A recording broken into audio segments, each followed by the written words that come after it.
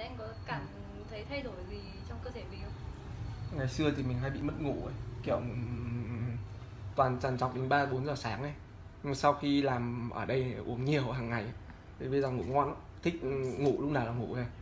còn cái việc ngày xưa mình hay bị xoang thay đổi thời tiết nhất là thời tiết như ngày hôm nay này Ừ. là cái kiểu là bị xoang rồi khó thở ấy thì bây giờ thì hết rồi hết luôn tình trạng là bị xoang bị Đó. nghẹt mũi trong à, trong trong sữa sụp phông ấy có những cái chất mà nó tăng sức đề kháng cho mình, khiến cho cơ thể mình ờ, khỏe mạnh hơn, nó chống được những cái bệnh ờ,